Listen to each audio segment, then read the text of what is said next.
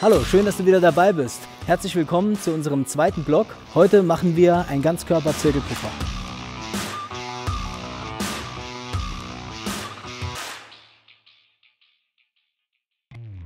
Bevor wir mit dem Workout starten, möchte ich dir unsere Übungen vorstellen. Wir haben sechs Übungen. Erste Übung, Kniebeuge. Hände hinter den Kopf, Schultern hinten unten und wir gehen in die Kniebeugeposition. Dabei darauf achten, dass wir die physiologische Lendinerdose einhalten. Nächste Übung, Vorwärtsstütz. Hände sind gestreckt. Wir ziehen die Knie an und stabilisieren. Nächste Übung, Bauchlage. Diagonales Arm- und Beinheben.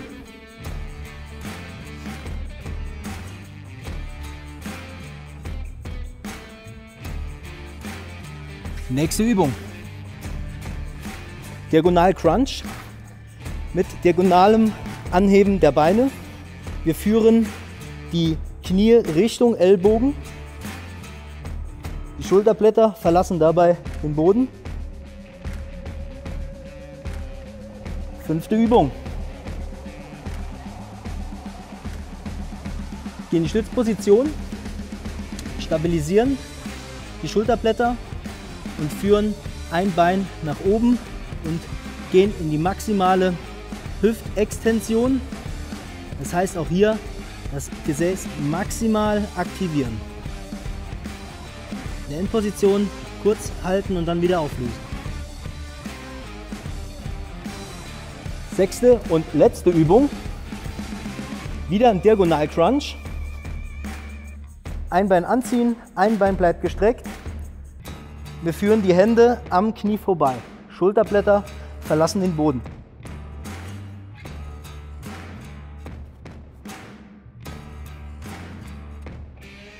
Okay, let's go.